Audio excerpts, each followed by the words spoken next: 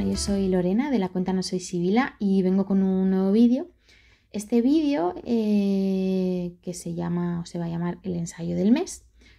Voy a, o sea, pretendo que sea eh, parte de una serie de vídeos que voy a intentar ir haciendo cada mes, cada dos meses, cada lo que pueda, ¿no? Porque, bueno, mmm, yo voy a intentarlo, pero tampoco me voy a agobiar. Quiero decir, si un mes no puedo leer un ensayo, pues no pasa nada.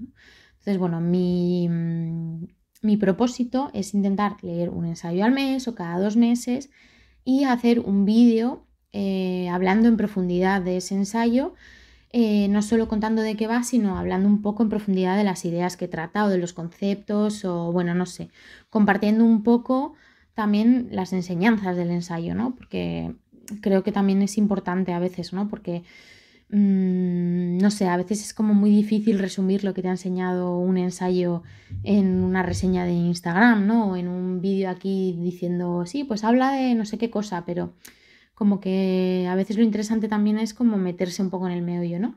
Entonces, bueno, voy a, voy a intentarlo y lo haré lo mejor que pueda, eh, porque bueno, también me apetece que mi canal tenga también esta, esta patita, ¿no? De, de discutir ensayos feministas o antirracistas y este tipo de ideas que se puedan hablar aquí y, bueno, y compartir un poco también en comentarios lo que pensamos, etcétera, ¿no? Que a lo mejor se pueda crear una conversación, yo qué sé, bueno, estas cosillas, ¿no? Entonces, bueno, el ensayo de este mes eh, es eh, este ensayo, Microfísica sexista del poder, de Nerea Barjola, editado por Virus Editorial. Y bueno, ahora os cuento de qué va, ¿no? Pero básicamente, adelanto, este ensayo para mí es de los mejores ensayos feministas que yo he leído en todo, en nunca.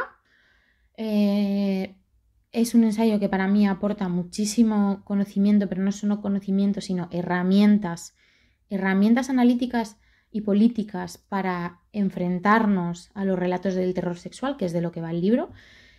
Y para mí ha sido un ensayo transformador, o sea, es de estos libros en los que entras y no sales igual.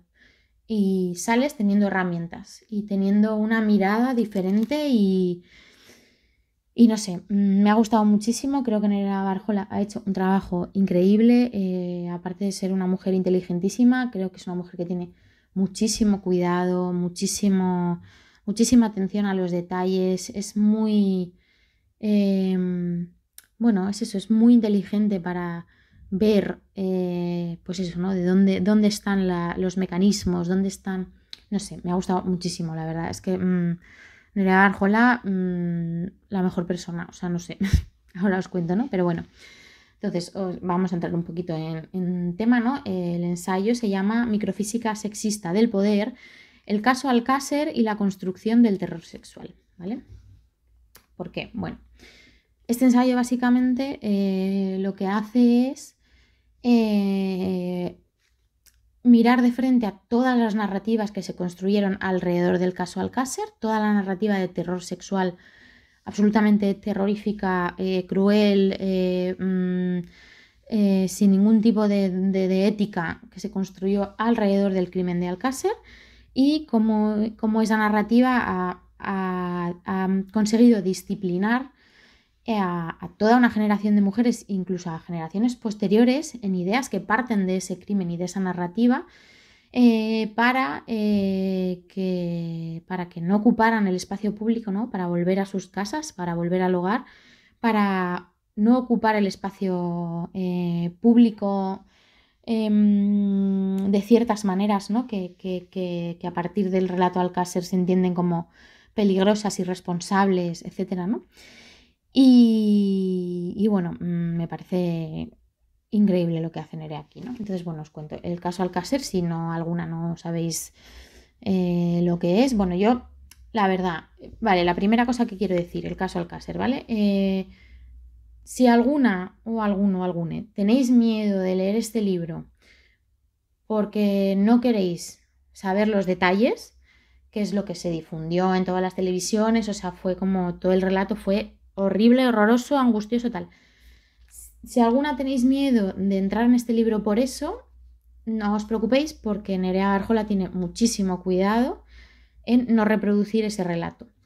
Eh, Nerea Barjola lo que hace es analizar el contexto, cierto tipo de, declaraciones, lo que sucede alrededor y solamente nos da los datos contextuales para que nosotras o, nosotros, eh, nosotros entendamos eh, un poco cómo fue la cronología de los eventos, pero no da detalles, ningún tipo de detalle eh, de, bueno, pues de todo lo que sucedió, ¿no? Eh, entonces, bueno, a mí era un miedo, yo era un miedo que tenía, por eso había, por eso he tardado tanto en leerlo en realidad, porque además em, yo cuando pasó el caso Alcácer era muy pequeña, tenía 5 años, fue en el 92, ¿vale? Eh, pero lo que yo he ido, lo que yo he recibido posteriormente siempre ha sido como eh, esto es era una, fue una película de terror, eh, pues eso, todas las mujeres de una generación completamente angustiadas por, un, por miedos, eh, bueno, todas las imágenes de los cuerpos, de no sé qué, ¿no? Bueno, un montón de cosas terribles, ¿no? incluso yo he interiorizado miedos que yo en ese momento no, no sé, los recibiría, porque yo era muy pequeña, no los recibí de una manera eh, racional, ¿no? Porque con cinco años, pues a lo mejor yo no me estaba enterando de lo que estaba pasando, pero los interioricé. Como por ejemplo, bueno, ahora os cuento todo, ¿no? Pero por ejemplo, para mí, eh, hacer autostop siempre ha sido una práctica completamente prohibida, irresponsable, peligrosa. No lo puedes hacer nunca jamás. No se te ocurra subirte a un coche con un señor, con un chico, nada, o sea, eh, bueno, es más, yo lo tengo tan interiorizado, esto es un poco así, ¿no? Pero bueno, pues cada una lo hemos interiorizado de una forma. Yo lo tengo tan interiorizado que no, nunca voy en taxi sola con un conductor hombre, eh, nunca. Y eso que eso no es hacer autostop, ¿eh? O sea, quiero decir, mm, hay cosas que hemos del relato que hemos interiorizado tanto y de maneras tan eh, profundas que ni siquiera yo nunca me planteé de dónde venía esto del autostop. Bueno, pues viene de aquí.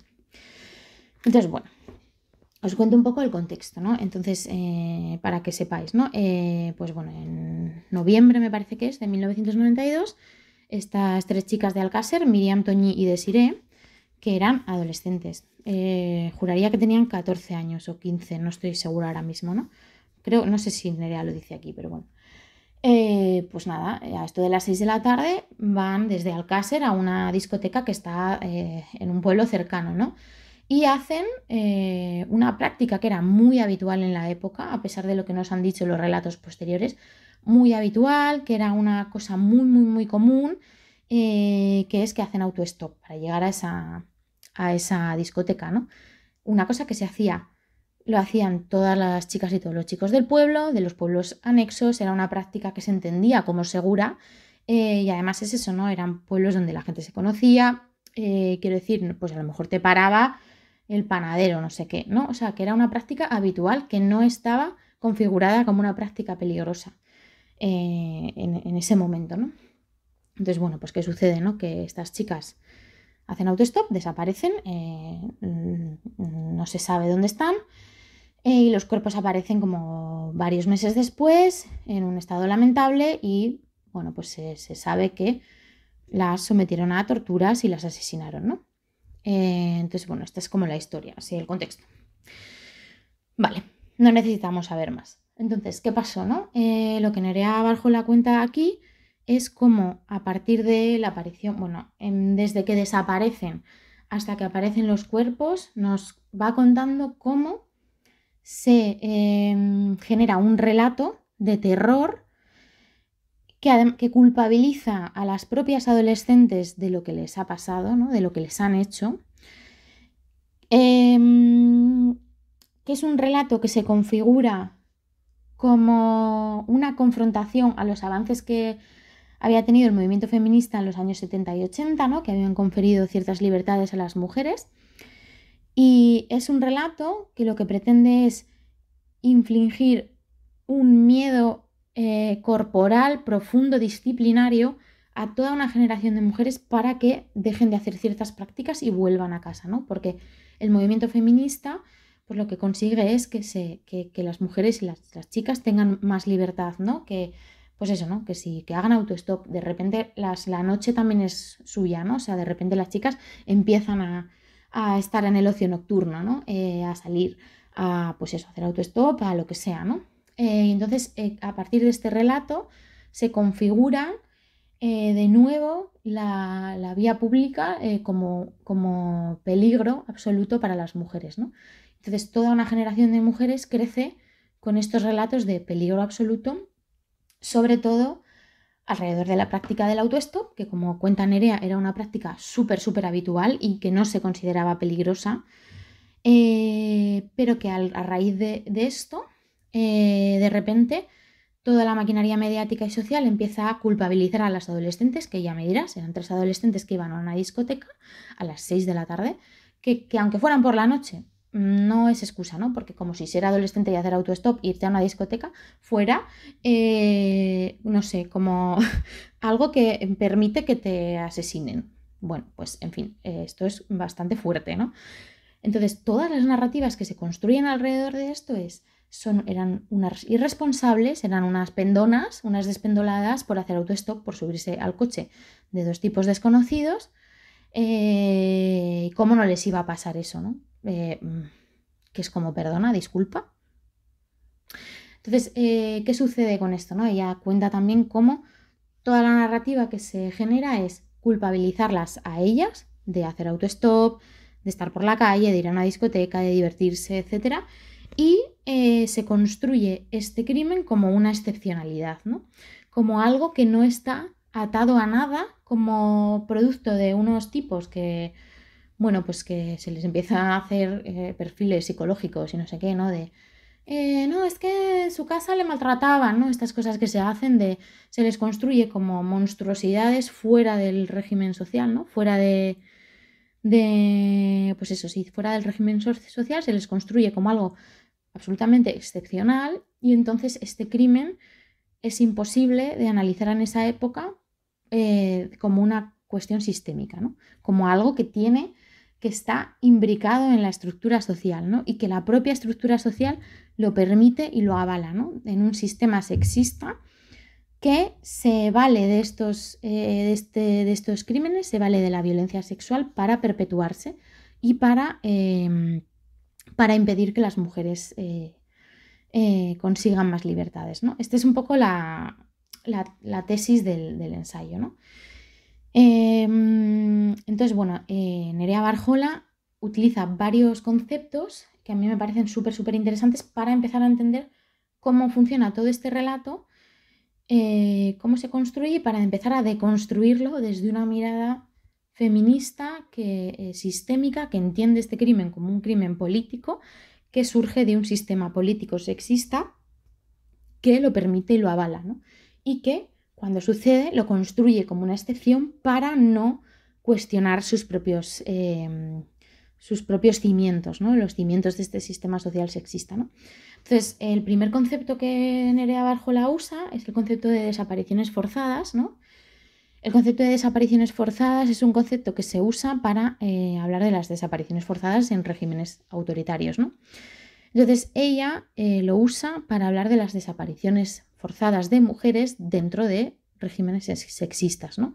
Porque estas desapariciones son producto de todo un sistema social que, em, ¿no? que, que, construye estas desapariciones como una eh, excepción, eh, pero al mismo tiempo se, se sirve de ellas para perpetuarse y perpetuar el terror sexual en el resto de las mujeres, ¿no? Como una amenaza simbólica de no paséis estos límites porque os va a pasar esto y además va a ser vuestra culpa, porque toda la narrativa además es como fue culpa de ellas porque fíjate, hicieron auto-stop, no sé cuánto y además una es que esto es fuerte. Además una de ellas era guapísima, es como, ah, pues nada, resulta que ser guapísima es culpa tuya y entonces te tienen que matar y violar porque eres guapísima, ¿no?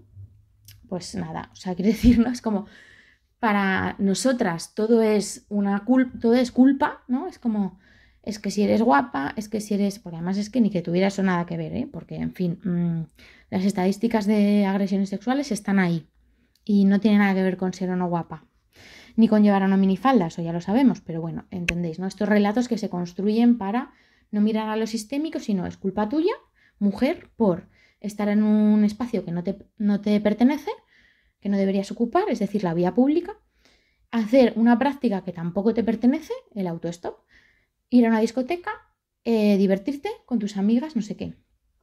Entonces, bueno, eh, pues eso, Nerea Barjola habla de, las desapariciones forzadas eh, como producto de todo un sistema político sexista que las utiliza para disciplinar al resto de mujeres, ¿no? Bueno, disciplinar evidentemente a las mujeres que transgreden la norma y para disciplinar al resto de mujeres con el relato de esta desaparición, ¿no? Con la amenaza implícita de que esto te puede pasar a ti también, ¿no? Y luego ya construye varios conceptos anexos a todo esto, ¿no? De cómo, em, de cómo socialmente se construye todo esto, ¿no? Ella utiliza un, concepto que es el de mujer pública, que me parece muy interesante, además eso, que en este caso, em, ¿no? Porque te dicen, ¿por qué ibas sola? El relato es, ¿por qué ibas sola por la noche en minifalda, ¿no? Por ejemplo. Estas chicas ni iban solas, eran tres, lo que pasa que no iban con ningún hombre y eso en eh, nuestra sociedad sexista significa ir solas y estar en peligro, ¿no? Porque no hay una protección más masculina, ¿no? Fuerte el asunto, ¿no? Entonces, pues eso, ¿no? El relato es, eh, iba sola por la noche en minifalda, ¿no? Pues estas chicas iban tres eh, a las seis de la tarde en su pueblo, que es un lugar conocido, no sé cómo iban vestidas, pero da exactamente igual, ¿no? Pero quiero decir, es que es absurdo completamente, ¿no? Eh, es decir, que ni siquiera transgredieron normas, eh, las normas que se entienden como explícitas de, ah, es que te pasó esto porque esto, esto, esto. No, o sea, ni siquiera el relato coincide ahí, ¿no? Pero como no coincide, se crean nuevas normas, ¿no?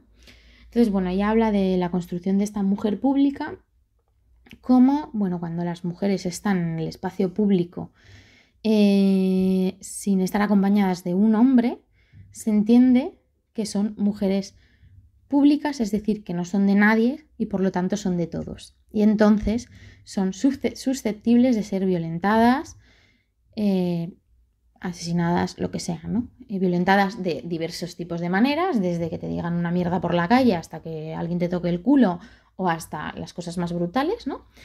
Eh, etcétera, ¿no? Entonces la falta de protección masculina te introduce en este, en este lugar de mujer pública, que no eres de nadie y por lo tanto eres de todos. Que eh, duele, pero es fuerte, ¿no? Y eh, esta mujer pública tiene un concepto anexo que Nerea Barjola articula, que se llama tierra de nadie, y es que cuando una mujer pública está en un espacio público sin la, sin la protección masculina, ¿no? entra en este espacio que se, entiende como tierra de nadie, que es un espacio en el que potencialmente, y además esto es una, esta potencia es algo que está, que está en el aire, ¿no? que puede pasar o puede no pasar y que es algo que se tiene presente, lo tenemos presente las mujeres y lo tienen presente los hombres. Esto es así, esta construcción es así, ¿no? Entonces tú entras en tierra de nadie, que es en un, espacio en el que te puede pasar algo. También puede no pasarte, pero es susceptible de pasar, ¿no? Esta tierra de nadie que es, bueno, pues yo estoy aquí en el espacio público X, ¿no? Y como no estoy acompañada de un hombre, pueden pasar cosas. Em, entonces, bueno, pues eh, Nerea habla, ¿no?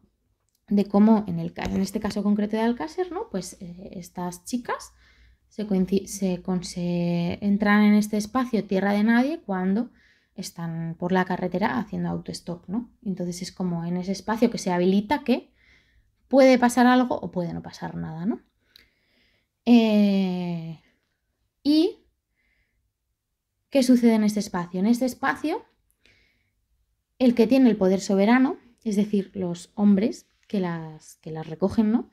Tienen el poder soberano de decidir si pasa algo o si no pasa, ¿no? Entonces, aquí esto es una cosa que a mí me parece muy interesante porque, bueno, como este, en este caso concreto todo se configura alrededor de la práctica del autostop, entonces Nerea Barjola en el ensayo habla con mujeres de esa generación y habla con mujeres de esa generación de cómo les afectó el relato, de, que, de cómo les afectó todo el tema alrededor de la práctica del autostop, etcétera, ¿no? Entonces, muchas de ellas cuentan anécdotas, ¿no? Por ejemplo, de, de, a lo mejor pues tener que pues eso, ¿no? Tener que volver a casa un día, no sé cómo, estar en un viaje y tener que ir de un lado, de un pueblo al otro, tal, no tener transporte y que te has, conocido a unos chavales majos en la playa y te dicen, venga, te llevamos hasta allí, ¿no? A ti y a tus colegas, que volvemos a lo mismo, ¿no? Ni siquiera sola, a lo mejor son tres colegas, ¿no? Tres, tres chicas, ¿no? Ni, ni, adolescentes, adultas.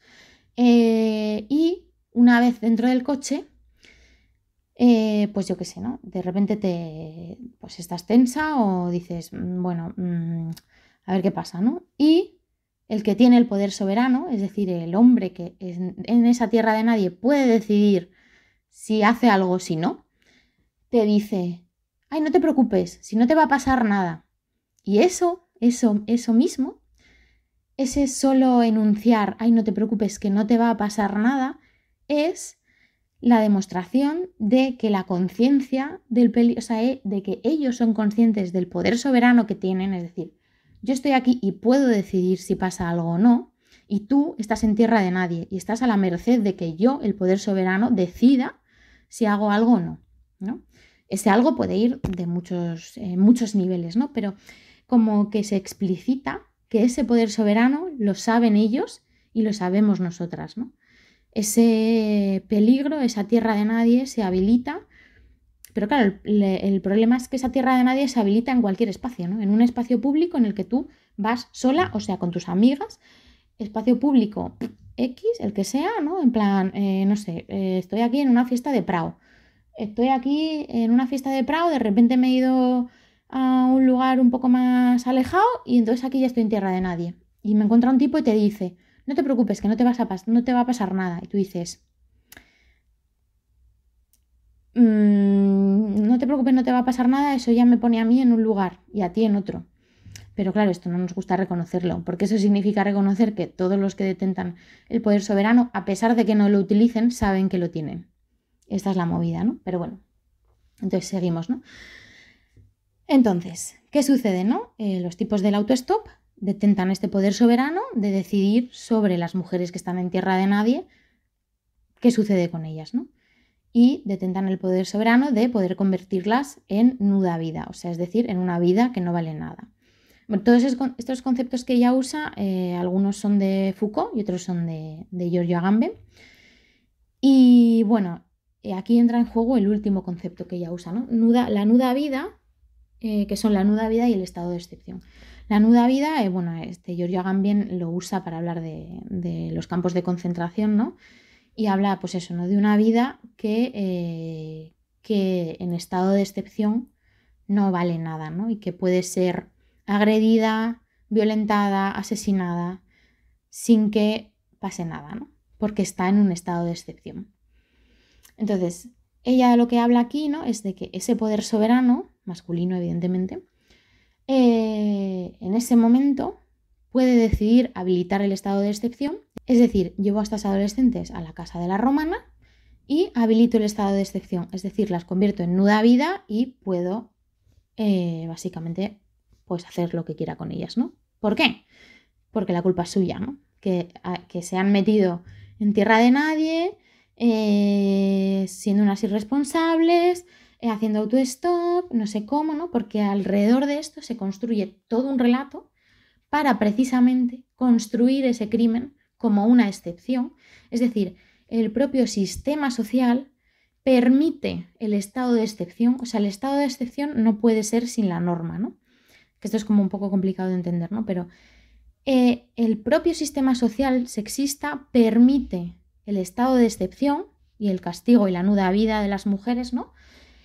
Eh, como una manera de perpetuarse. Porque ¿qué sucede? Después de que suceda este crimen, después de que se sepa, lo que hace el cuerpo social es validar este estado de excepción como una excepción, ¿no? Eh, a través de un relato, un relato del terror sexual que las culpabiliza a ellas, estaban haciendo autostop, son, unas responsables, son unas pendonas, encima una de ellas era muy guapa, iban a la discoteca, no sé cómo, fíjate, bla, bla, bla, ¿no? Es que se han puesto en peligro ellas solas, eh, cosas eh, pues absolutamente eh, infames, ¿no? Entonces, habilita, valida este estado de excepción, culpabilizándolas a ellas, sin discutir las cuestiones sistémicas que llevan a estos hombres a poder hacer eso, ¿no? Y básicamente validando eh, lo que ha pasado ahí y además usándolo para perpetuar sus normas. Es decir, a través de todo lo que pasa, a través del relato que se construye eh, sobre Alcácer, del relato del terror sexual, de las mujeres no podéis estar en la vía pública, no podéis hacer autostop porque es una responsabilidad, mirad lo que os puede pasar, fíjate, os pueden torturar, eh, además es culpa vuestra porque es que como se os ocurre meteros en un coche con un tipo eh, no sé cómo, eh, sois unas irresponsables, es que el, espacio público es un peligro para vosotras, tenéis que estar siempre acompañadas de un hombre, etcétera, ¿no? Se construye todo un relato que lo que hace es perpetuar el sistema social sexista y además llevar hacia atrás las libertades conseguidas de las mujeres, ¿no? De las mujeres por el movimiento feminista de los años 70 y 80, ¿no? Entonces, el, es que esto es a mí lo, lo que me voló la cabeza, porque ella lo explica muy bien el sistema social permite el estado de excepción, permite este tipo de crímenes en estado de excepción, permite que el poder soberano masculino realice este tipo de crímenes eh, para poder perpetuarse mediante el relato posterior, construyéndolo como una excepción, en lugar como parte de la norma sexista, y utilizando ese relato, mm, es, utilizando ese relato del peligro del terror sexual, ese, esa construcción eh, corporal, porque los miedos que se infunden son corporales, o sea, todas las mujeres de una generación pueden localizar esos miedos, ¿no? A través de todas las torturas que se describieron eh, por pasiva, por activa y por pasiva en todas las televisiones, las imágenes de los cuerpos, bueno, toda esta cosa completamente absurda y delirante y con una falta de ética absoluta, ¿no? A través de toda esa narrativa, lo que hace es perpetuarse y además poner mm, poner nuevas normas, o no nuevas normas, sino instaurar de nuevo las normas que se habían perdido, ¿no? Entonces, mediante este crimen, el, cuerpo social consigue volver a perpetuar esas normas sexistas, ¿no? Porque toda una generación de mujeres de repente crece aterrorizada completamente a ocupar el espacio público, a hacer autostop, a un millón de cosas, ¿no? Eh, tiene que ir siempre acompañada de un hombre, o sea, em, bueno, es que yo eso, ¿no? Tengo amigos que siempre es como te acompaña hasta casa, ¿no? Como no vas a ir sola a tu casa, rollo, vivo en una ciudad de, o sea, pues no sé, vivo en Gijón, que tampoco es una ciudad muy grande, hay dos, eh, dos calles a mi casa, ¿no? No, no, no vas a ir sola, ¿no? Y esta es una narrativa que se, que se perpetúa desde ahí, ¿no? Y que la tenemos completamente metida en la cabeza, ¿no? Es como, no puedes ir sola, eh, no se te ocurra, ¿no? O escríbeme cuando llegues a casa. Eh, no sé, mm, es que me pareció tan interesante además como ella lo cuenta a través de todos estos conceptos, el concepto de mujer pública, de tierra de nadie, de nuda vida, de estado de excepción, y a mí eso lo que me volvió la cabeza fue cuando entendí que el estado de excepción lo, lo perpetúa la norma, o sea, a estos señores se les permite hacer esto porque a través de ello la norma se perpetúa. Es que yo me quedé en plan, o sea, son cosas que como que ya sabes, ¿no? Pero cuando esta mujer te los explica así, dices, uff, cerebro, galaxia y terror. O sea, y, uff, bueno. Entonces, eh, pues esto, ¿no? Esto es lo que cuenta Nerea Barjola. Eh, cuenta además, bueno, eh, el comportamiento de la prensa, que fue una cosa completamente falta de ética, absurda, deleznable, asquerosa, o sea, de verdad Mm, terrible, terrible a unos niveles estratosféricos. Y claro, también em, duele darse cuenta de cómo esto ha seguido funcionando igual, ¿no? Porque yo del relato de Alcácer me acuerdo de pocas cosas, de pocas cosas conscientemente, ¿no? Hay otras cosas que inconscientemente se han quedado, se han quedado en el sistema social. El terror, el relato de ni se te ocurre hacer autostop, te estás poniendo a peligro, es horrible, es terrible, eh, y si te pasa algo es culpa tuya, ¿no? Porque por lo visto que haya un señor que te viole y te asesine es culpa tuya. ¿En qué circunstancia? Es que da igual, es que no, ¿cómo? Es que me parece absurdo, ¿no? Es como, ¿cómo puede una sociedad, eh, ¿no? Culpar a unas adolescentes. Es que ya pueden haber hecho lo que les dé la gana. O sea, es que ya podían haberse puesto, no sé, ¿sabes? Pero ¿cómo puede una sociedad culpar a unas adolescentes de lo que les hicieron? Es que de verdad me parece absurdo, ¿no? Pero seguimos ahí, ¿no? Pero claro, luego nosotras tenemos los relatos. Rocío Baninkov, Marta del Castillo, eh, Laura Luelmo, Diana Kerr, etcétera, ¿no? O sea, quiero decir, tenemos otros relatos que han seguido funcionando de la misma manera, ¿no? Y, es verdad que el movimiento feminista ha avanzado y estamos consiguiendo, por, por ejemplo, ¿no? Con lo de los Sanfermines, de los tipos estos que no voy a nombrar, eh, con San Fermines, ¿no? Todo el movimiento feminista pudo decir, no, no, esto es una cuestión sistémica y no me vas a decir a mí que esto no es una violación. O sea, no me vas a decir a mí, tú, señor juez, o Pepito, el de los palotes, o Ana Rosa Quintana, que no sé qué, y que es que es culpa de la chavala porque se estaba fumando un porro con uno de los tipos. ¿Perdona? Entonces, ahí todo el, movimiento feminista tuvo la fuerza suficiente para, para contrarrestar este relato, ¿no? Pero ella, eh, Nerea Barjola, en el libro, cuenta, porque además, claro, mm, pues eh, en ese momento parece, claro, tú viendo las noticias parecería que no hay movimiento feminista por ninguna parte, no, no, sí lo hay, y el movimiento feminista está hablando de lo que pasa, está diciendo, esto es un crimen que tiene eh, una, un origen sistémico, es un crimen sexista, es un crimen político, eh, la culpa no es de ellas, estos señores se les permite hacer estas cosas, eh, se construyen luego como una excepción, como si fueran monstruos, monstruos, pero no, son hijos sanos del patriarcado. El movimiento feminista en ese momento lo estaba diciendo, pero no, tenía no tuvieron la fuerza suficiente para contrarrestar el relato absurdo, absoluto y terrorífico de todos los medios de comunicación y de toda la sociedad, ¿no? Entonces, de hecho, eh, bueno, el libro se llama Microfísica sexista del poder, porque la microfísica del poder es un concepto de Foucault, ¿no? lo que dice Foucault, porque tenemos como estos diferentes tipos de poder, ¿no? El poder soberano, el poder directo, que es el que ejercen estos tipos cuando asesinan a estas chicas, ¿no? El que ejercen, ¿no? Pues de saber que tú tienes el poder de convertir la vida de esa persona en nuda vida, ¿no? De decidir como hombre que la vida de esa mujer no va a valer nada, ¿no? Por ejemplo, ¿no?